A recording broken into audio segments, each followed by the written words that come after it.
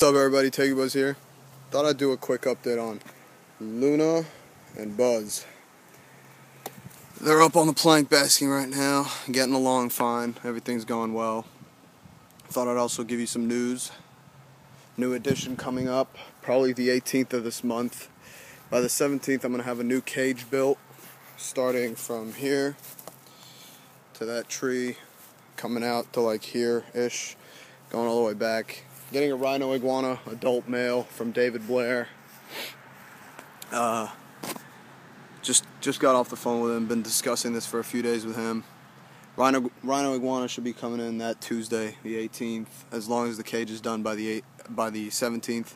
So, yeah, I mean it's gonna be good. He's got some nips, but that doesn't bother me at all.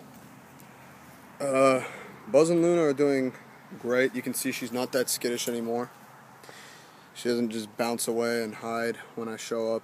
And Buzz is just his usual old self. Yeah, this rhino iguana I'm getting is around 25 years old. And he's been one of David Blair's breeders for 15 years. He's been using him for breeding. And uh, it's going to be good. I mean, I'm looking forward to it. He's still kicking. These things, they say these things live at least to be around 40 years old if kept in good health. But there are records that say they've they've been they could live up to 70, but nobody knows. Uh, nobody knows exactly what their lifespan is. But I mean, I'm hoping I'm hoping it all goes well. I'm getting the same guy who built my cage last time to build me a cage in this area right there. It's gonna be nice. That's where the rhino iguana is gonna be.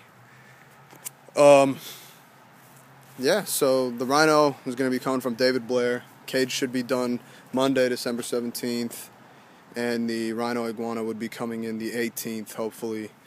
And then I leave town for a week on December 21st. So yeah, Buzz and Luna are doing great, as you can see, getting along well. Actually, more than well. And yeah, hope you guys enjoyed this video. Uh, Tegu Buzz out, write, comment, subscribe.